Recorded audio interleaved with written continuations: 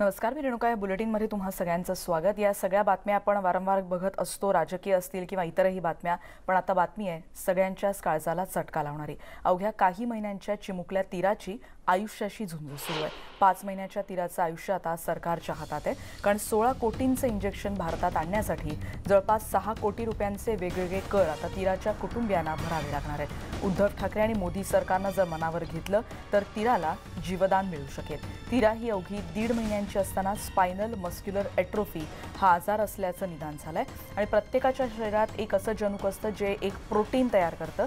आणि ज्यामुळे आपल्या शरीरातील मज्जातंतू आणि स्नायू जिवंत राहू शकतात कार्यरत राहू शकतात. पण तीराच्या शरीरात हे जनुक नाही आणि त्यामुळे हे प्रोटीन तयार होत नाही.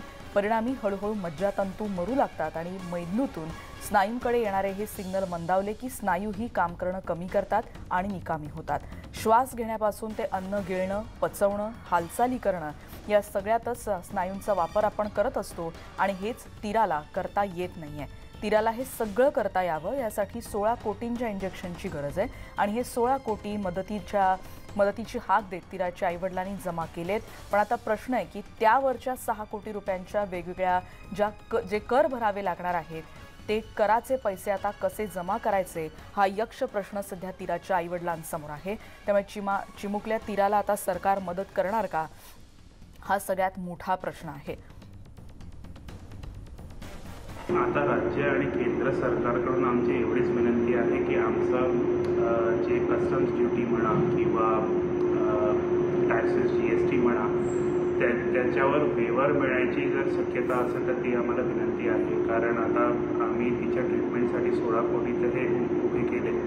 पण जर त्याच्यावरती म्हणा की तेवीस टक्के कस्टम्स ड्युटी आणि बारा टक्के जी एस टी जर भरायला लागली तर ते परत सहा कोटीच्या घरात जातं आणि ते परत उभारायची शक्ती व क्षमता अजून उरलेली नाही आमच्यात. आणि आमच्या मुलीला तेवढा वेळ पण उरलेला नाही आहे आणि या संदर्भात आपण अधिक बोलणार आहोत. स्वाती लोखंडे आमच्या प्रतिनिधी आता आपल्यासोबत आहेत. स्वाती गेल्या सहा ते सात दिवसांपासून मोठ्या प्रमाणावर सोशल मीडिया असेल आपल्या वेगवेगळ्या प्लॅटफॉर्म्सवरून तीराच्या तीरासाठी मदतीची हाक दिली जाते. आणि आज न्यूज एटीन लोकमत देखील हेच आवाहन सरकारला करत आहे की सोळा कोटी तर उभे राहिलेत पुढच्या कराचे पैसे माफ झाले तर तीराचा जीव वाचू शकेल.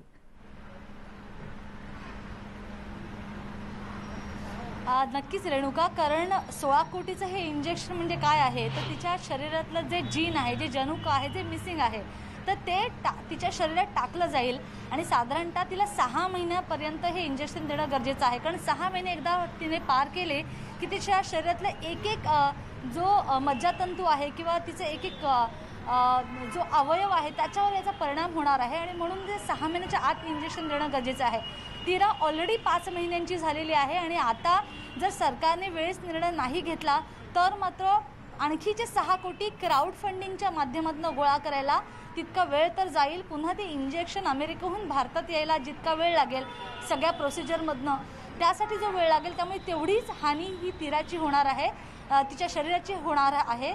आणि साहजिकच आहे की हे पाच महिन्याचं बाळ आताही जर बघितलं आपण रेणुका तर ते आता एस आर सी सी या हॉस्पिटलमध्ये भरती आहे. आणि तुम्हा सगळ्यांना ऐकायला हे खूपच वाईट वाटेल ऐकून की तिच्या आत्ता तीन सर्जरी झाल्यात. आणि तीन सर्जरी झाल्यानंतर ती एन आय सी यूमध्ये आहे. आणि अजूनही म्हणजे गेले दहा दिवस ती एन आय सी यूमध्ये आहे. आणि तिला अचानकपणे तिचा श्वास घेणं बंद झालं होतं. तिचं तिचं लंग फेल्युअर होते की काय असं वाटलं होतं आणि त्यानंतर तिला ॲडमिट करण्यात आलं आहे आपण जेव्हा श्वास घेतो तेव्हा आपल्या स्नायूंची आपण हालचाल करतो. आपण असा श्वास घेताना जेव्हा स्नायूंची जी हालचाल करतो तीच तिराला घेता करता येत नाही आणि त्यामुळे तिचा श्वास घेणं अचानकपणे बंद होतं.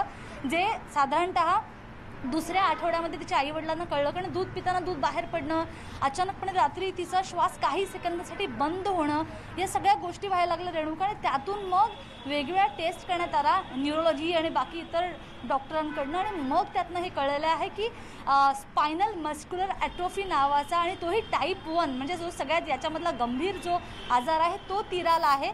तिरा म्हणजे नावाप्रमाणेच अत्यंत म्हणजे बाणासारखी अगदी सरळ उंच आहे फोकस आहे. कारण एवढी पाच महिन्यांच्या मुलीच्या इतक्या सर्जरी झाल्या तरी तिचे आपण जर फोटो बघितले तर कुठेही ती खूप थकलेली दिसत नाही. अत्यंत तेजस्वी अशी मूल आहे हे. आणि केवळ सरकारने जर करमाफी केली तर तिला जीवनदान मिळू शकतंय. आणि अवघा एक महिन्यांचा कालावधी आहे रेणुका. म्हणून आपण खरं तर न्यूज एटीन लोकमतच्या या माध्यमातून दाखवतो तिराची कहाणी. तिराच्या आईवडिलांशी मी बोले तिराच्या आईचं अश्रू थांबतच नाही. तिराच्या आईचं असं म्हणणं आहे की आपण एखादी गोष्ट जेव्हा इतरांबरोबर सांगतो तेव्हा आपलं मन हलकं होतं असं साधारणतः समज आहे. पण तिराच्या आईचं म्हणणं आहे की मी इतक्यांदा माझ्या मुलीबद्दल कुणाकुणाशी बोलली आहे ते दुःख माझं हलकंच होत नाही कारण तिलाला ज्या परिस्थितीनं मी जाताना बघते ती परिस्थिती तिच्या आई वडिलांना सहन न होण्यासारखी आहे. कारण पाच महिन्यांचं बाळ किती त्रास घेऊ शकतं सो सरकारला आपलं हेच सांगणं असेल की सहा कोटी रुपयांचं एक तर कस्टम ड्युटी आहे स- राज्य सरकारी जी एस टी आहे केंद्र सरकारची जी एस टी आहे. तर याच्यातला खरं तर निर्णय जो आहे तो केंद्र सरकार आणि राज्य सरकारनं एकत्रितपणे घ्यायचा आहे.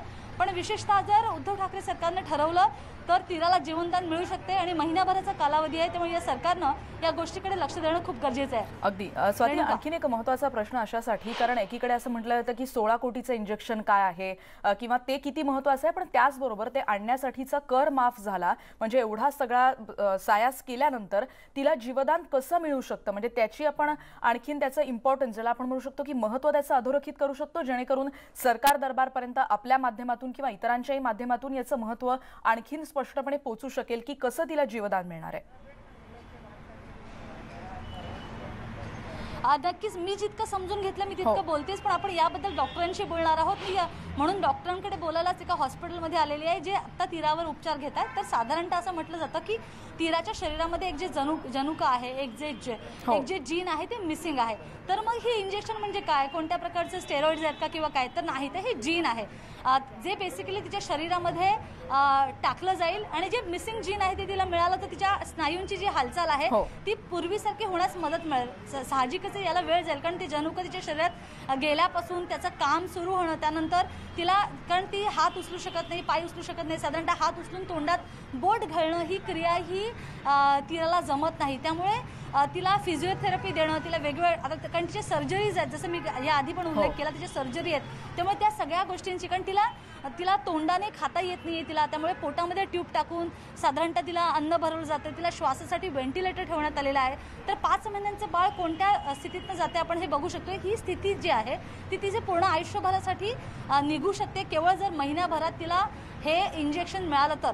हे महिनाभरात यासाठी कारण या इंजेक्शनची साधारणतः मर्यादा आहे की सहा महिने ते दोन वर्षाच्या साधारणतः कालावधीत हे इंजेक्शन मिळालं पाहिजे. पण सहा महिन्याच्या आत जर दिलं तर तिच्या अवयवांचं होणारं जे नुकसान आहे म्हणजे रोज रोज जे एक एक मसलची जी जो आपण म्हणू की त्याचा नाश होणं किंवा किंवा त्याचं त्याचं नुकसान होणं जे आहे ते वाढते दिवसेंदिवस.